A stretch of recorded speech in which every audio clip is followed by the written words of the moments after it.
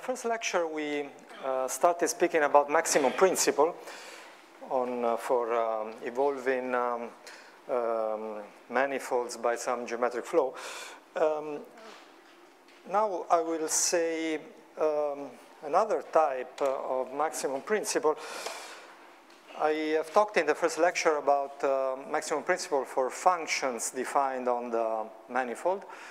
And, uh, but there is also something um, mm, important that has to be said about the manifold itself.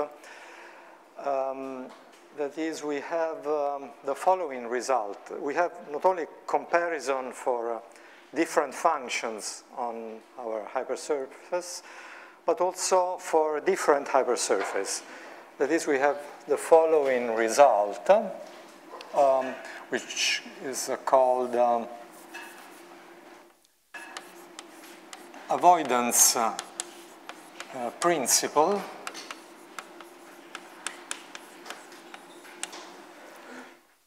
Uh,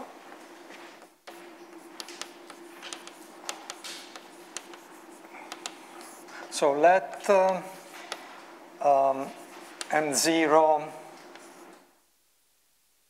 n0 um, in Rn plus 1 hypersurfaces,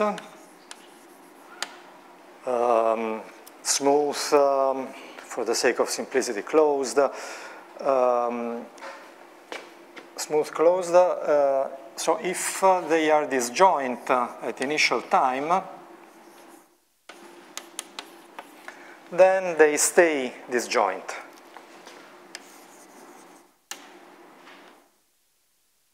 I denote by MT the evolution uh, of the mean curvature flow by mean curvature flow of M0 and the same for N. So MT and T are the corresponding evolutions at time t.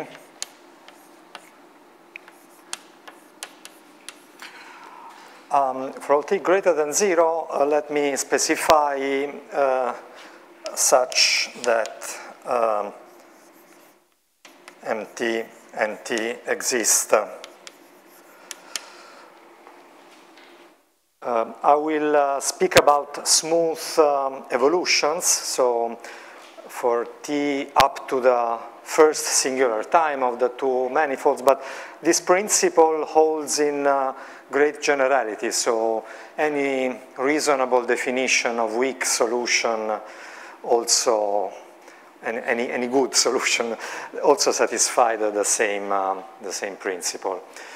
Um, so we, we have already seen by maximum principle argument a special case of this result uh, when one of the two is a sphere.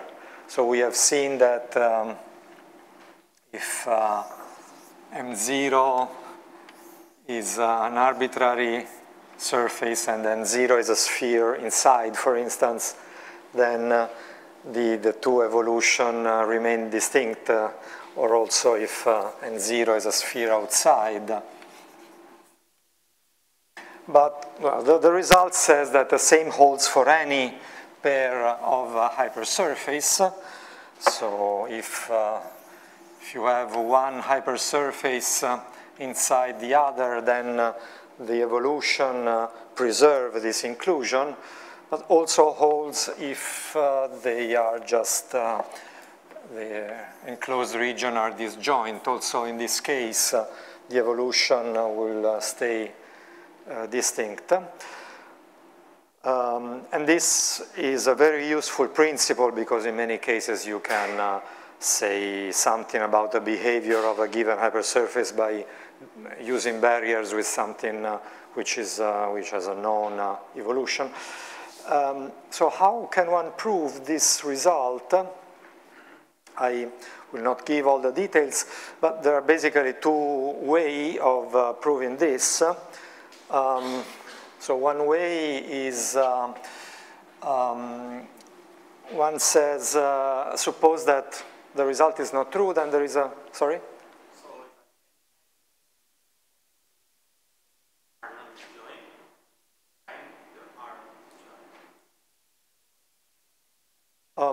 I mean, if, um, so if, if they are disjoint at initial time, then they stay disjointed all following times.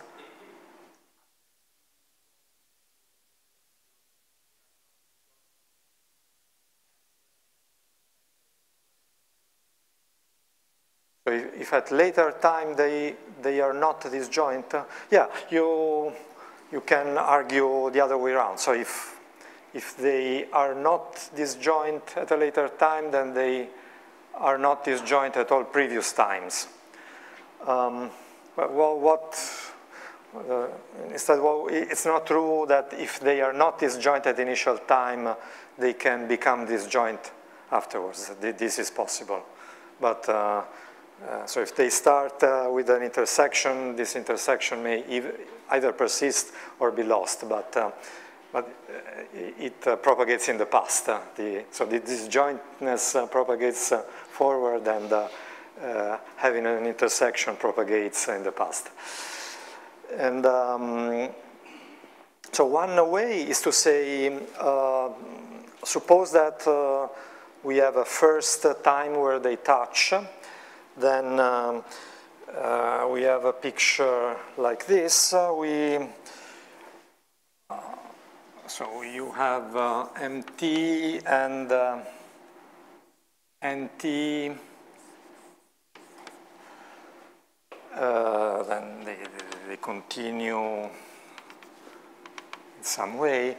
Uh, they may touch at one point or at more points, but um, at any point where they touch, uh, since it's the first time that they touch, they have to touch tangentially. Then they have um, common normal. Then uh, um, one can, uh, they have a common tangent plane. So one can locally write both uh, uh, hypersurfaces as graphs uh, over a given uh, plane, hyperplane, and um, then uh, write locally the evolution by mean curvature as a graph, as you saw in the previous lectures. It is a, a parabolic equation, and uh, you can argue that you have a bounded domain uh, where um, two solutions of the same parabolic equation have a uh, so touch for the first time uh, in uh, a point in, in, the interior of the domain, which is impossible by the strong maximum principle, and therefore this cannot happen. But um, there is another way to prove this result, which is uh, probably more interesting, uh, which is the following. One can say that actually um, not only they stay disjoint, but we can be more precise and say that the distance increases. The distance between the two uh, hypersurfaces is increasing. And um, how can we see this? Again, I just uh, give uh, the um, intuitive part of the argument. Uh, that is, um, let us draw our two hypersurfaces and t at a certain time.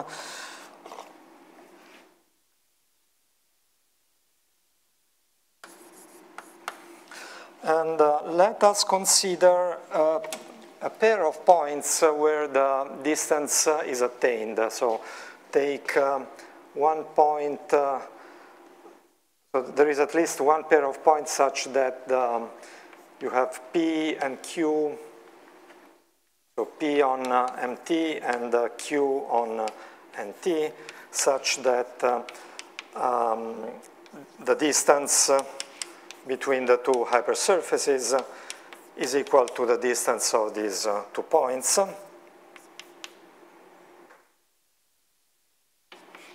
Let me call G the the immersion which gives the hypersurface n. Then I claim that the distance between these two points uh, has a non-negative derivative. So the, these two points are not becoming closer. Um, it is, um, so there are standard arguments that show that uh, um, if, so if you consider the evolution of a, of a minimum of uh, many functions like this. If, um, at the point uh, where the minimum is attained, if at any point where the minimum is attained, the derivative has a certain sign, then also the infimum has a, a derivative, uh, possibly weak derivative with uh, the same sign, so it has the same monotonicity. And uh, so um, what can we say? Uh, how can we study the, the, the derivative of, uh, of, this distance? Well, um, since uh, these two points minimize the distance, uh, it is uh, easy to see that the segment joining them must coincide, must be parallel to the normals at both points. So the, the normal uh, at uh, these two points must coincide.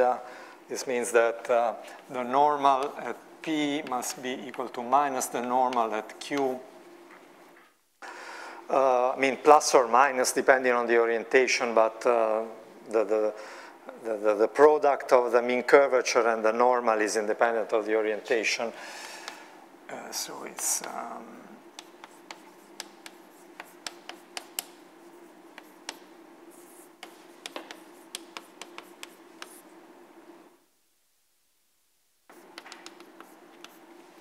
the, this vector divided by its norm. Um, so then uh, what's the derivative of this? Uh, well, we can, uh, it is uh, uh, simpler to consider the derivative of the square. So the derivative uh, of um,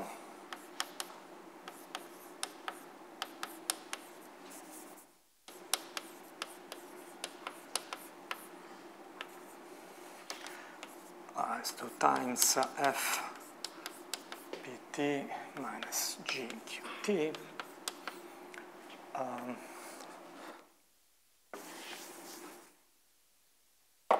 then we have uh, the mean curvature um, at pt, so minus uh, hpt times uh, uh, nu uh, pt plus h qt. Qt. But uh, so this vector, this vector, and this vector are all uh, parallel. And uh, so let's choose the orientation as in the picture. Uh, this means that this is equal to um, uh, well, we have um,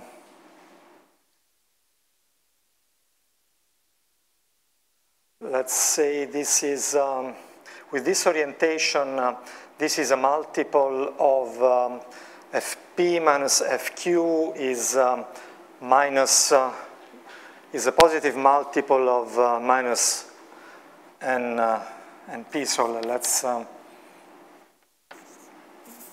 so the, the norm is the, the, the distance itself.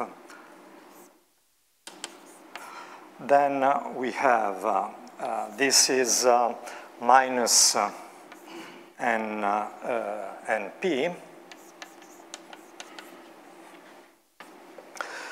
And also this is minus uh, np, so this is um, uh, minus uh,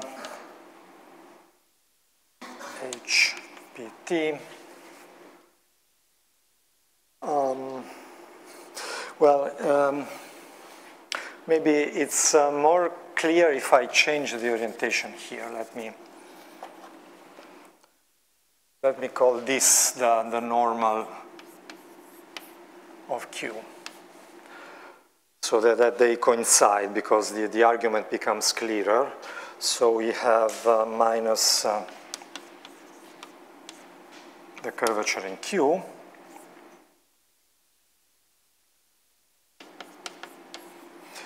So we have these two minus sign that become 1, nu, mal, uh, times nu is 1, so this is uh, 2 times uh, the, the, distance times um, uh, the difference of the mean curvatures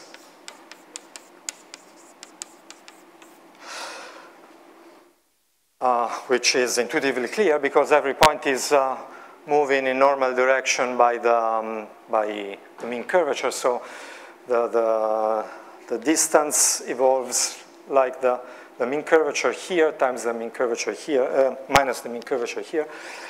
And um, now, in, what is um, easy to see from the fact that these two points minimize distance is that uh, they, they have either to turn in opposite direction, that is, in this case, um, this would be positive, this would be negative, then this would clearly be positive, or if also, otherwise they, they could also turn bend in the same way, but uh, we could also have n of t doing like this, but um, the curvature here has to be smaller than the curvature here. Because if the curvature is larger, then this means that we could find a, a, nearby point which is closer to m than this is. So this is uh, greater than zero by minimization property of these two points. Gr greater than or equal to zero. So th this is greater than or equal to zero. And so we, um, we see that the, the, the, at this point that the distance increases, so the same holds for uh, the global distance of the two hypersurface. So we have this um, avoidance principle, which is uh, actually not just for mean curvature flow, um, it just requires that the speed is monotone in the curvatures, which is the usual parabolicity condition for this flow. So also for the kind of flow um, Toti Daskalopoulos is uh, speaking in, uh, in her uh, talks. And um, by similar argument, uh, one can also prove that if um, M0 is embedded, then it remains embedded.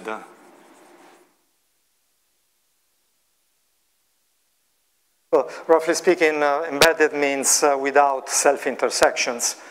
So if you start without self-intersection, mean curvature flow cannot develop new self-intersections.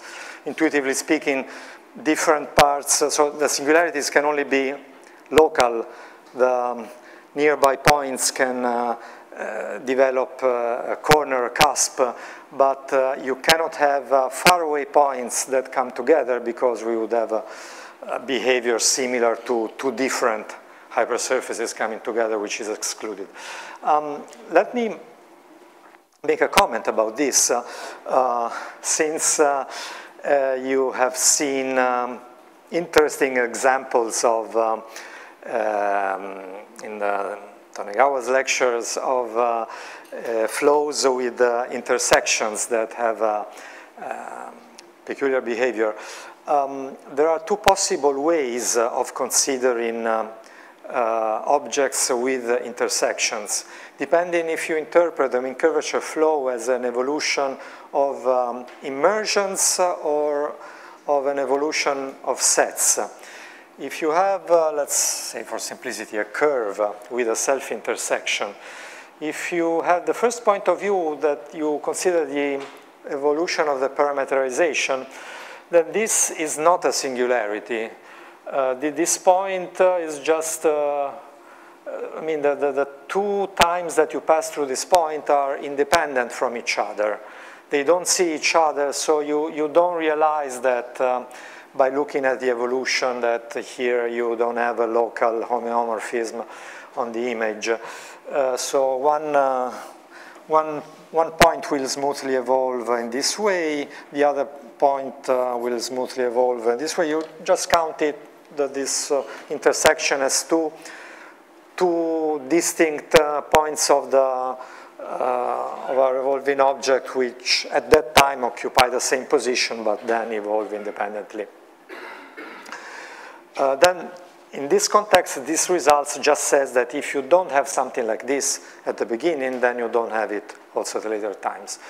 Um, but you can also have the point of view that you don't regard this uh, as a parameterization, but of a subset over n, or the boundary of a, of a subset over n, then uh, in this case, uh, this counts as a singularity, and then it is non-trivial to uh, describe what is going on. Then you have this uh, phenomenon that uh, you have heard of in the other lectures. So um, don't be confused by this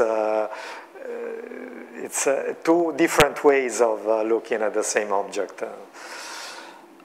Okay, um, this um, was the avoidance principle.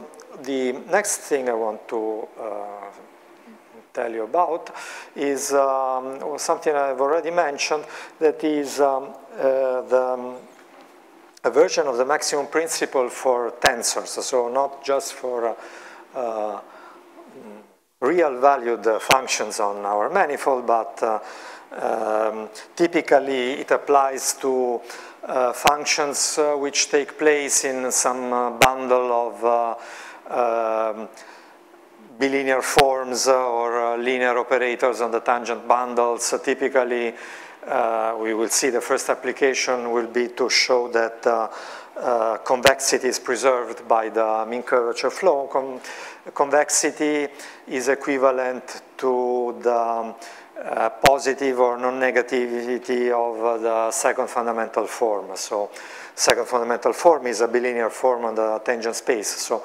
we have to use a principle which uh, uh, ensures the preservation of positivity on um, uh, time-dependent uh, bilinear forms uh, on our manifold uh, evolving by suitable PDE. And um,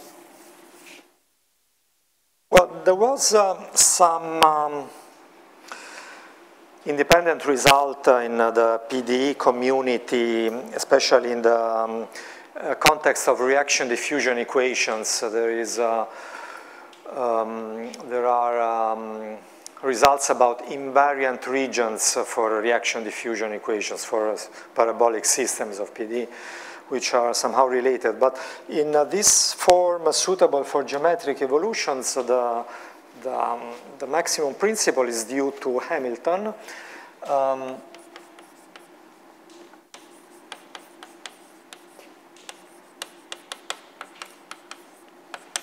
and uh, the, for the, the way I'm going to write it now is contained in the first uh, paper by Hamilton on the Ricci flow.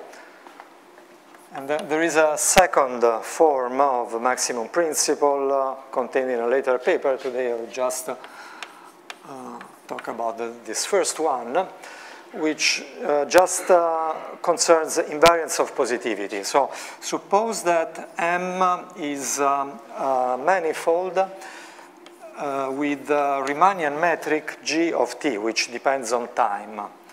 So Riemannian manifold with the time dependent metric. And suppose that uh, on uh, this manifold, so t goes uh, in some interval 0 capital T, and uh, you have um, a, a, bilinear form defined on the tangent space of M for each point in time. You have some um, Mij is um, of Pt is a bilinear form. on uh, uh, any point on uh, space and time um, on the manifold which uh, satisfies an evolution equation.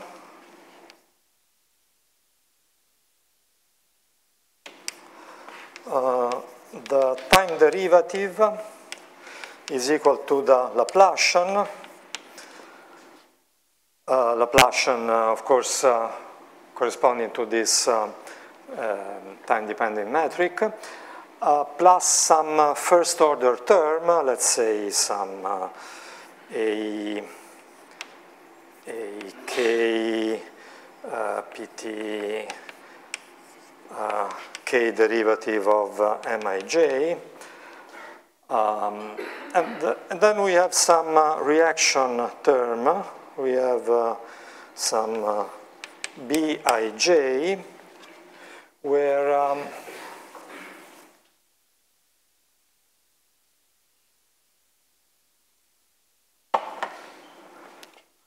where um, uh, so AK is uh, uh, given a vector field.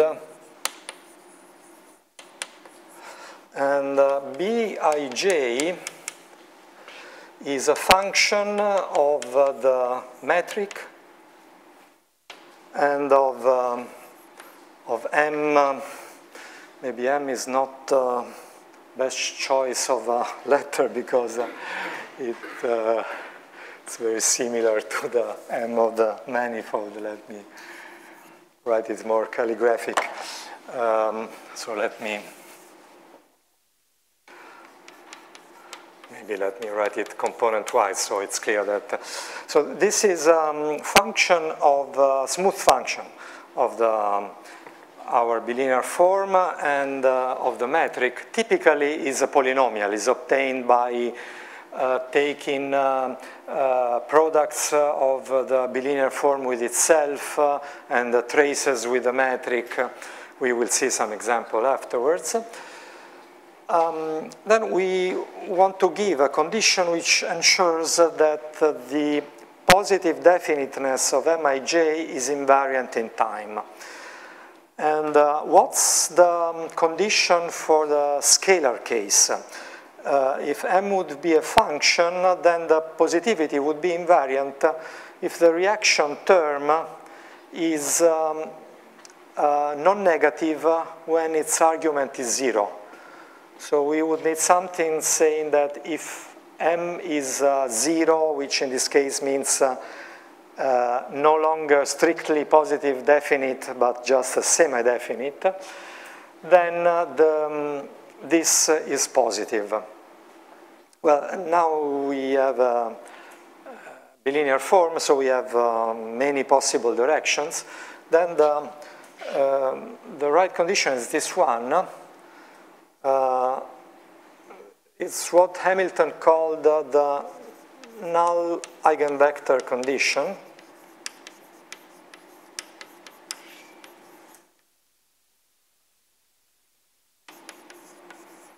So if um, uh, Vi is um, null eigenvector for M,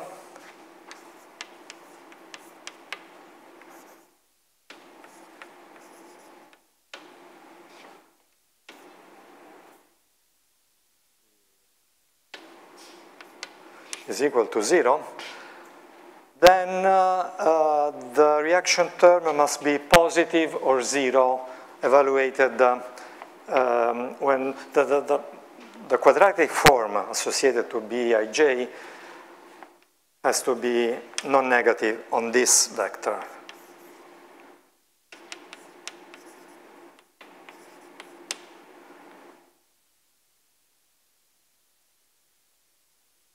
Um, the, the, notation here is a bit, um, um, there is a, some small abuse of notation. So uh, in this case, I mean um, an arbitrary matrix, uh, so the, not uh, our specific uh, uh, evolution. Uh, so if the, if the, if we take a matrix, so th this is a function of matrices.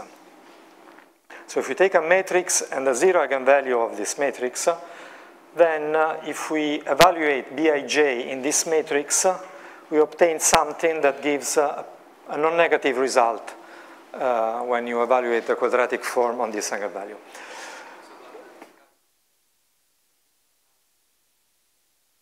Yeah. Yeah. Yeah, yeah. Um, you, you may restrict yourself to the, uh, the, the, the, possible image of M. If you know that M is taking values in some uh, subset, you can uh, impose the condition only on the subset. Um, well, then the, the, um, the conclusion is, uh, so under the above assumption, um, if uh, Mij is non-negative definite at time zero, then, uh, well, let me write it, um, let me write it positive, then it are also versions with uh, non-negative. Then uh, um, uh, at t equal to zero, then uh, Mij is strictly positive for all uh, positive times uh, under the all the above assumptions.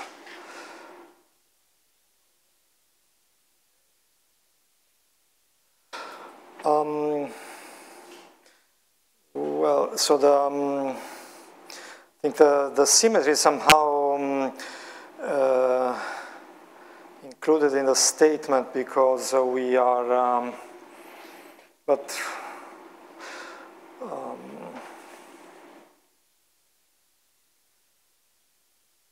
no, probably not. I guess. Uh, I mean, you.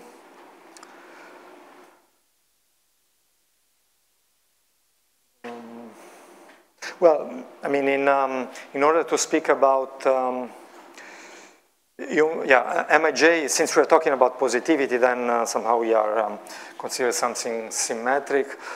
And um, uh, maybe the, so the Bij, but I mean, if the Bij is the, um, in the equation, uh, so all other terms are, sim, hmm, yeah, all, all other terms are symmetric. So uh, I think Bij should also be symmetric for, uh, for construction. So I think it's not, uh, uh, it's, uh, it only makes sense for, for symmetric. Of course, one could um, make other versions. One could uh, uh, state it for uh, Mij operator from the tangent space to itself, and then one could speak about the positivity of the associated bilinear form. Uh, however, let's um, let's prove it in this way, and um, the, um, for simplicity, I will make the proof under a stronger assumption. Um,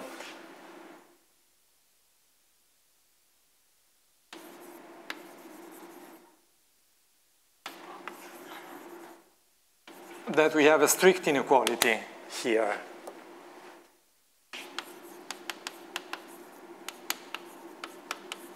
On the null eigenvalue. Uh, but this is um, it, it's standard uh, in uh, the proofs of the maximum principle to pass from uh, this case to the case of uh, the equality by doing a suitable perturbation of the Mij. So I it's uh, really just um, um, a technical point which is very standard. Um, so how do we argue? Again, we argue by contradiction. So suppose uh, uh, the assertion is false. So this is not positive definite for all times then it means that there is a first time where it is not positive definite. By continuity, it has to be positive semi-definite. Uh, so um, uh, this means that um, there exists some uh, point p star and time t star such that uh, um, Mij uh, is uh, has a null eigenvector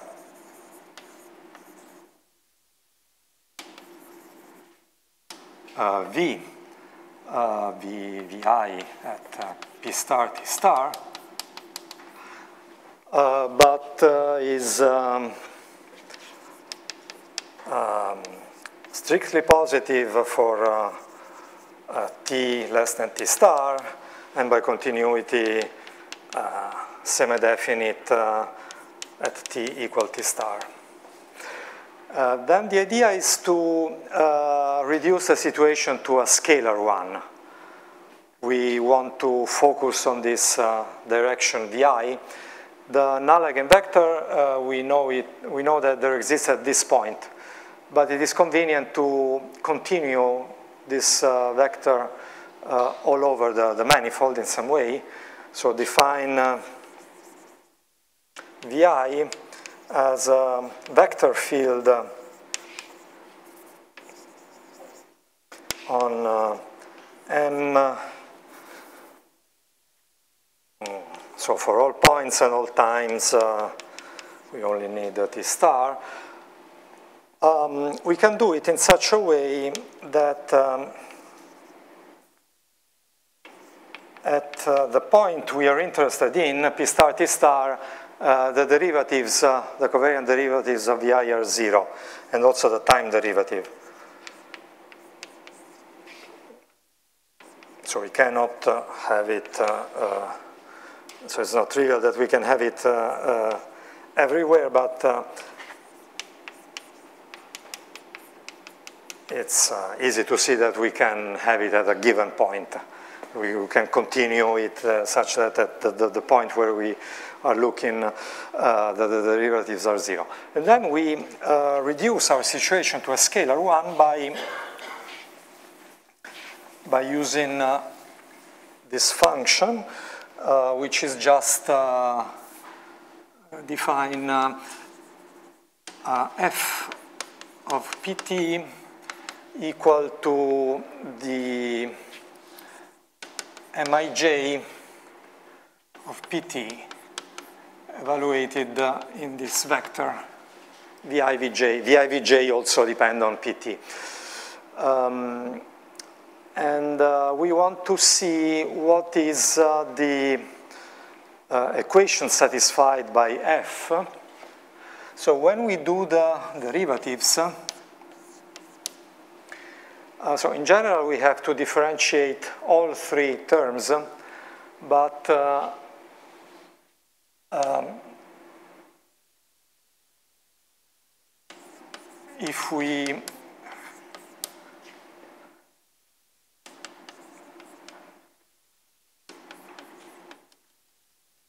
we only look what's happening in this point, uh, we only get this first, the, the, the term where the, this one is derived because these other derivatives are zero at this point. The, the same happens for the first uh, derivatives. So our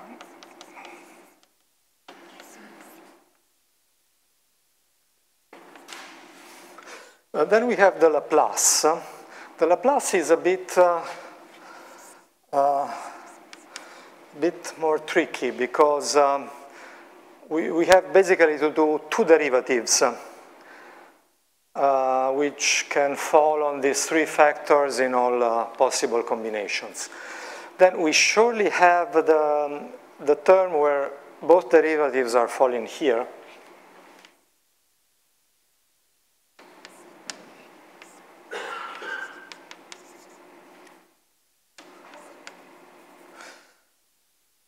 Um, then we have to take care when we have the gradient of EIVJ, we, we don't know if it is zero at the, the nearby points. So um, all uh, terms with uh, one derivative uh, on uh, either of the two is zero at our point.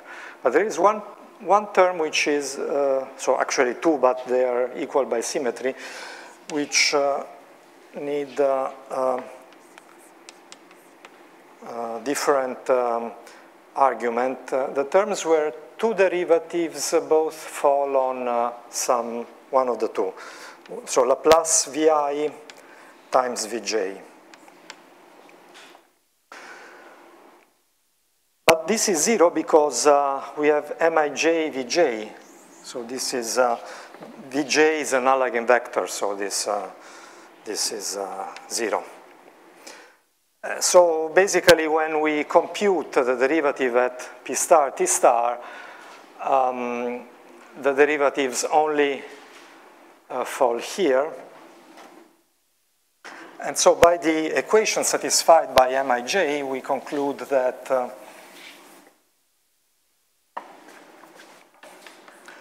uh, df dt is equal to Laplace f plus um, uh,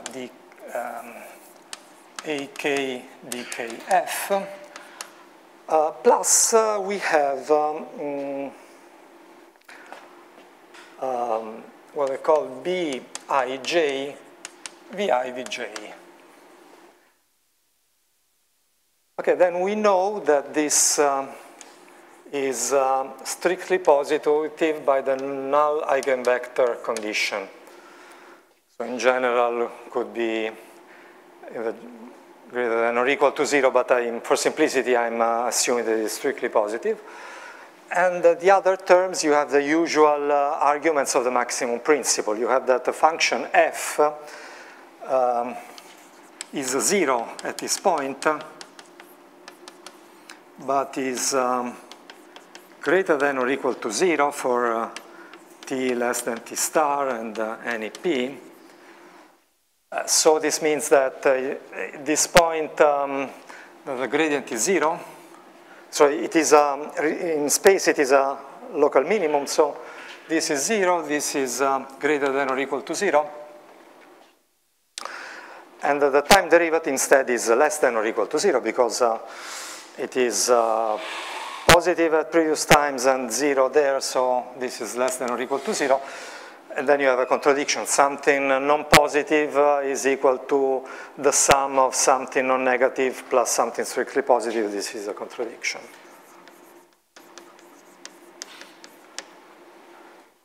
And uh, okay, so this concludes the simplified proof of this principle assuming the strict inequality. And uh, so let's uh, see an application.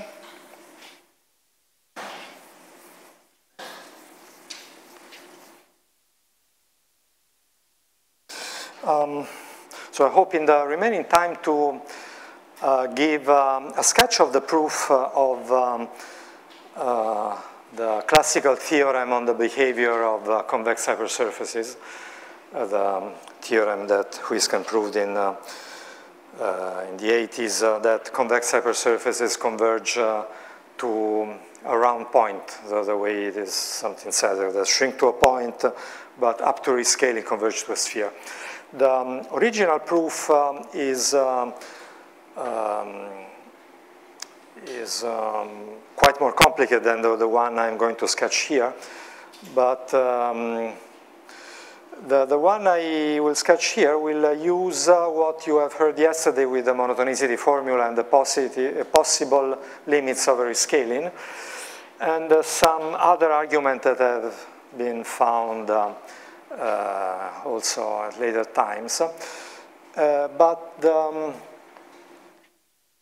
the, the, first properties that were already the, the starting point in Huisken's original paper are some invariance properties. That is, suppose um, mm,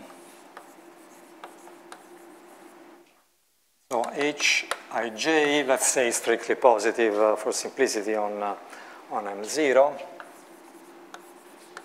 Uh, let me just mention, if you, mm, in this uh, Hamilton's maximum principle, if you start with something uh, non-strictly positive, uh, then um, um, the um, something uh, so just positive semi-definite, then the conclusion is that it stays at least semi-definite, and there are also some um, suitable version of a strong maximum principle, some rigidity of the possibilities where you have uh, a persistence of the semi-definiteness that can be ruled out in some cases. So it can be shown that uh, all I'm going to say will, would still hold uh, uh, if we have a non-strict convexity on the initial manifold provided it is compact.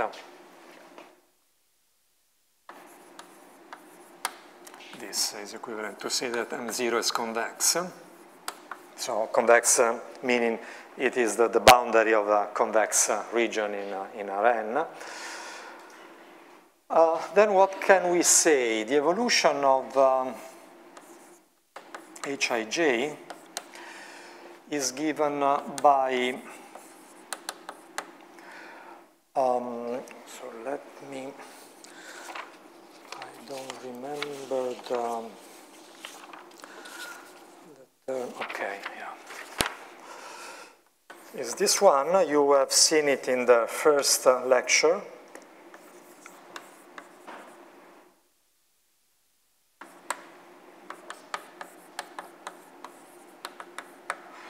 So we have uh, something like uh, that, that fits in the picture of uh, Hamilton's uh, maximum principle we have seen. Uh, you have time derivative, Laplace, uh, you have no first order term, and this would be the, the, the, the, Bij. You see it's a function of the second fundamental form and the metric. And both h and a square come from the second fundamental form and the metric by suitable products and contraction. So the question is, does it satisfy the null eigenvector condition? Well, suppose, uh, so if um, um, hij vj is equal to zero,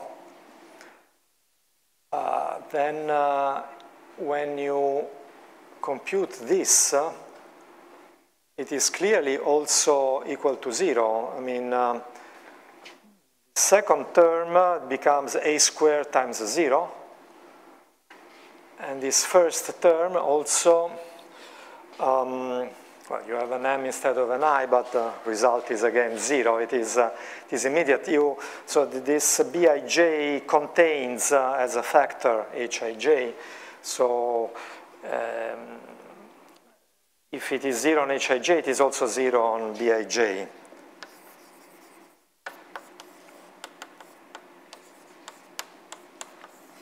So it satisfies an eigenvector with equality.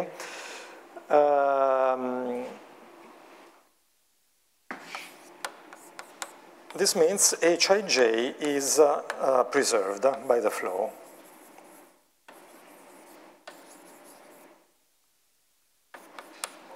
That is, if uh, the initial hypersurface is convex, then uh, the, all the later evolution uh, gives a convex hypersurface. Um, in, uh, as I mentioned, in contrast to uh, what's called the mean convexity, that is the positivity of the mean curvature, mean convexity is invariant under mean curvature flow also in a general Riemannian manifold. Uh, this results instead, uh, um, exploits the Euclidean ambient space because you have uh, some extra terms in a Riemannian manifold which would not satisfy in general the null eigenvector condition. Um, there is a, a related property uh, which um, is very useful in the analysis of the mean curvature flow of convex hypersurfaces. That is the so-called preservation of pinching. Uh,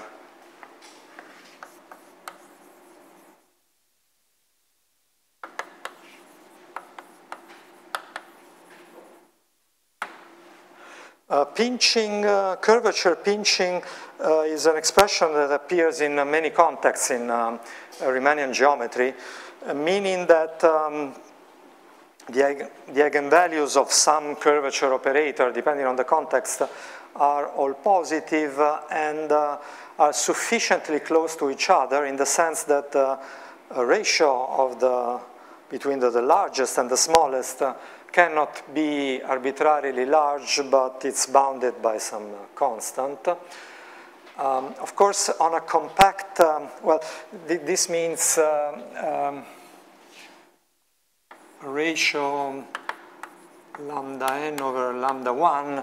If I call lambda n the, the largest principal curvature, lambda 1 the, the smallest one. Of course, if all curvatures are positive, then uh, this object is bounded on uh, the initial uh, uh, hypersurface, but the question is, as time evolves, and especially when we reach a singularity, will this remain bounded? And the question is yes. So what we uh, see is the, um, the preservation of uh, lambda 1 greater than epsilon h is preserved, is invariant. This is very similar to, to this. Uh, lambda 1, if we have this, this is equal to the sum of the eigenvalues. Again, we can, we can say that this is greater than or equal to uh,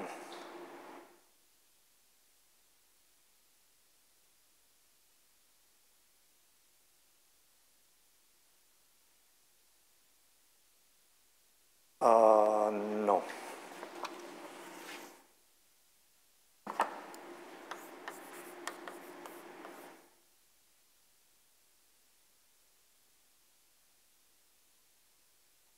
Epsilon minus 1 lambda 1 plus epsilon lambda n. Uh, so it implies that uh, lambda 1,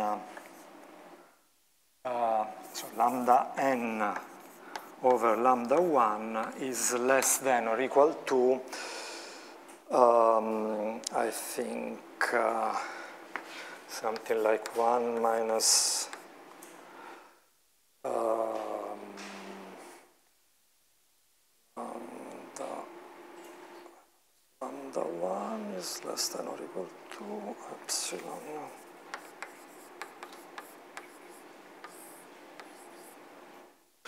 So this gives a uniform bound on the ratio of the largest and the smallest mean curvature. So in this sense, a condition like this is called a pinching condition. So how can we show that it is invariant? We can define a um, symmetric linear form which uh, is uh, positive if and only if this is satisfied. So define uh,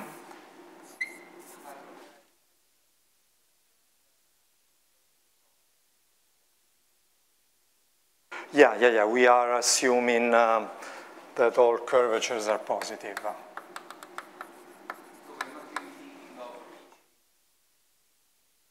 No, no, uh, yeah, the different, uh, yeah, different uh, meanings, yeah. In the sense of the neck is more um, pinching, the sense is uh, shrinking.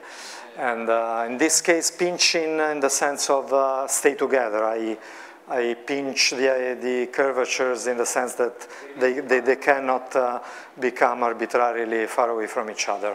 Yeah, different different meanings of pinching. Yeah. And uh, okay, then one can just define this, um, this tensor, hij minus, uh, so this is um, non-negative if and only if, um,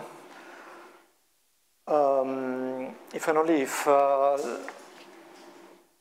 lambda i is greater than epsilon h for all i,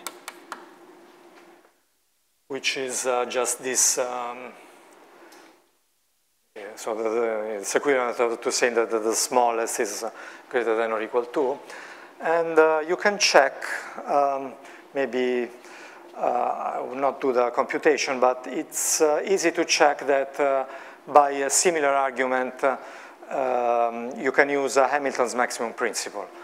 You, since um, using the evolution equations for this, for this, and for this, using the fact that Gij has uh, zero spatial derivatives, it has only non-zero time derivative, you find easily the equation satisfied by this. You see that it's equal to time derivative minus uh, Laplacian, then some uh, reaction term, which again is easily seen that uh, um, at an eigenvector, so if uh, you have uh, lambda 1 equal to epsilon h uh, at some point, so you have uh, an eigenvector satisfying uh, um, where the, the second fundamental form is uh, gives um, epsilon h the same eigenvector, um, you see that the, again, that the reaction term uh, vanishes at the null eigenvectors of this, uh, of this um, uh, tensor.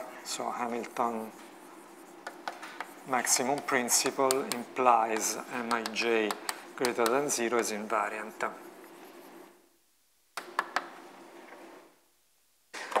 Okay. Um, this is a typical feature also of um, other geometric flows of the Ricci flow that some positivity conditions of the curvature are uh, invariant under the flow, which is a very useful property for studying the behavior. And um, then um, I will uh, state uh, um, a property of convex set which was found by Ben Andrews. Uh, um, so let me first define if, um, if you have a omega in Rn plus 1 uh, convex, um, and uh, M is the convex compact, and M is the, the boundary of the, of the set. Uh, so like our evolving hypersurface, then I call um, rho plus of omega uh, outer radius uh, which is um, the radius of uh, the smallest ball containing uh, omega. And then I consider analogously that the inner radius as the radius uh, of the largest ball inside omega.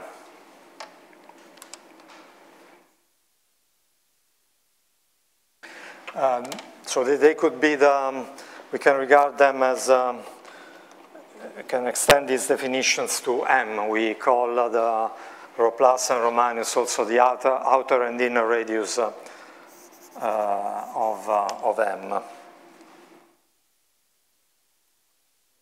For a better chalk. Good. Then there is this um, result uh, that relates uh, the, the pinching of the curvatures to the pinching of the radii.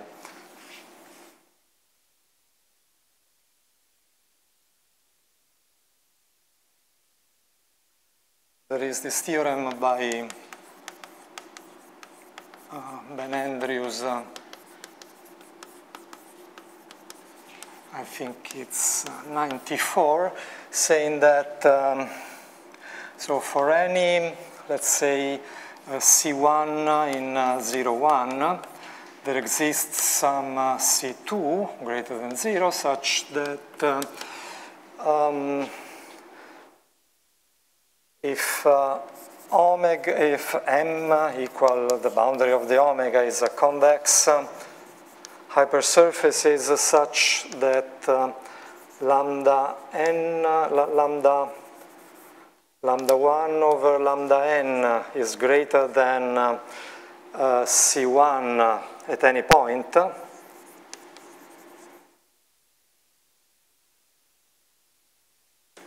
At every p in, uh, in M, uh, then we also have abound on the ratio of these. Um, so I can also say C2.01. Uh, then uh, rho minus uh, of m over rho plus of m is greater than C2. Um, Okay, so somehow the, this means that if we can control this, uh, as we know that we can, as I have just shown you, then uh, we can also control um, the ratio of uh, R minus, rho minus and rho plus. So intuitively speaking, both quantities uh, measure how much we deviate from a sphere. On a sphere, we have uh, this uh, identical equal to 1. Uh, so if uh, C1, uh, the, the, closer C1 is to 1, the closer we are to something spherical. Um, and uh, also if rho minus is equal to rho plus, then of course you are on a sphere. So just, of course this is just an intuitive uh, justification. Um, so the, the, corollary is um, if MT is a convex evolving by mean curvature flow, implies that rho plus of um, um, so rho, rho, minus of mt plus plus uh, over rho plus of, M, of mt uh, is greater than some C2 independent of time.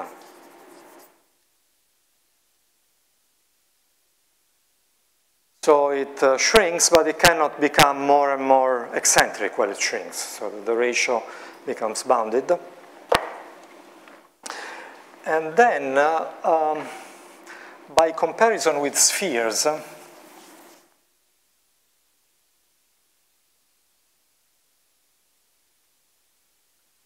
so um,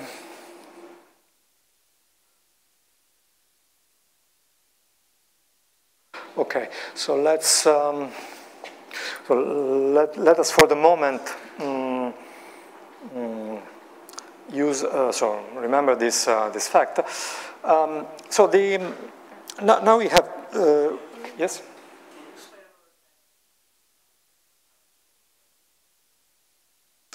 Um, so rho minus is uh, the, um, you consider that the ball which stay inside the, the hypersurface, so in the, in the region close by the hypersurface, and you take the, the largest possible ball which is inside the hypersurface. Rho, rho plus is the radius of the uh, of a ball uh, which encloses, which uh, stays outside, and the, the, the, smallest possible radius. Um, okay, then, um, mm, so let me explain the, the strategy of what we are doing. Um, we, as uh, was uh, mentioning yesterday, uh, we want to show that um, the flow the only singularity that it can have is of type 1. Uh, so the, we know that t is the singular, let's, uh, let us call singular time the t. t is uh, surely finite because uh, uh, we have uh, said it the, the other time, anything compact is um, by comparison with a contracting sphere, has to become singular in finite time. So, the, uh, and we also know that um, that uh, a square, so that the, the maximum of a square tends to infinity as uh, t goes to t. Um, but we don't know, so I've already told you everything is shrinking to a point, but a priori we don't know. So we wonder, maybe the, the surface develops a corner at some time, uh, or maybe the, the curvature can, um, uh, can become inf infinite, but the, the, the maybe the, the whole surface collapses to something uh, flat, uh, but which is not a point. Well, uh, this estimate we have just proved uh, rules out this, uh, because uh, in this case you have rho minus going to zero and rho plus going to something positive, so that that ratio would, would not satisfy that estimate. But we have to exclude this. And to exclude this, there is a trick which was introduced by uh, Kaising Tso uh, for the study of the Gauss curvature flow, but applies to, um, with uh, great generality to, uh, to geometric flows, uh, to hypersurface flows, which um, uh, involves the support function. so you fix some t0, less than capital T, and uh, you know that uh, since uh, you, are, you have not reached the singular time, then uh, you have something smooth. So rho minus is greater than zero. Then by convexity, uh, uh, well, let, let, let define um, x0, the y0, the center of the ball of radius uh, rho minus t0, which is contained in our hypersurface.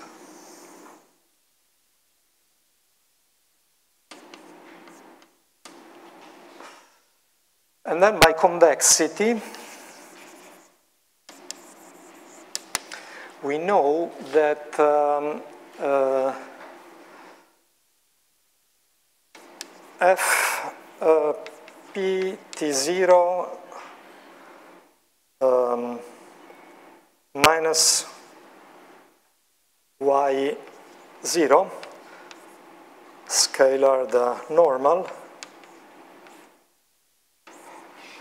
is uh, greater than or equal to rho minus of t0.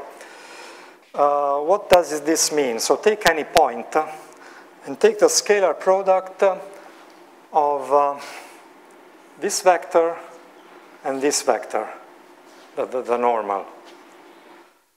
This means that it is um, basically the, the, the, distance of the tangent plane to this point to this uh, center. But uh, since the convex set and uh, fortiori the, the sphere all lie on the same side of the tangent plane, then you have this inequality. Then um, the idea of, um, of this trick is to consider this function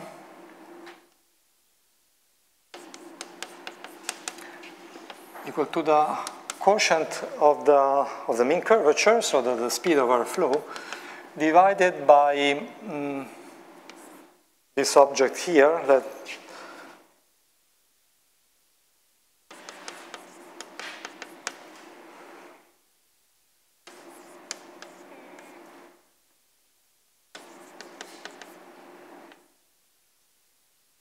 minus uh, one half of this value. And um, uh, one observation is uh, since our flow is con contracting, if the sphere is included uh, in our hypersurface, is enclosed at time t0, then this is also true at previous time. So also for t less than t0, we have the same property. So this um, denominator is never zero for t less than t0. And uh, actually the, the, denominator is uh, comparable with uh, rho minus. And um, well, I, I have, I'm running out of time. Uh, but maybe I just uh, just sketch you the, um, the how it how it uh, goes on. Then maybe I will give you more details at the same time. But one can use the maximum principle to obtain a bound on upper bound on W so if you compute the evolution of uh, evolution equation of W, you see that it has a, a nice reaction term, which becomes negative uh, for large values of W. So this means that uh, W cannot become too large. Um, so the, since the, the, our estimate, so th this somehow cannot be much larger than rho plus, this uh, this uh, expression. This cannot be, uh, this is comparable to the diameter, which is comparable to rho plus. So um, the denominator is um, between uh, somehow rho minus and rho plus, which are comparable to each other. So um, W is more or less like uh, H over rho minus. Uh, so this shows that um, H is bounded above if uh, rho minus is bounded below.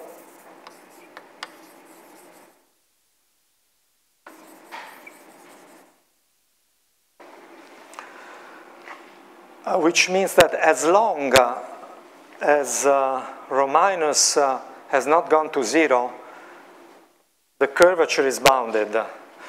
On a convex uh, manifold uh, hypersurface, this is the sum of uh, the principal curvatures. So if the sum of uh, n positive numbers is bounded above, then each of these numbers is bounded above.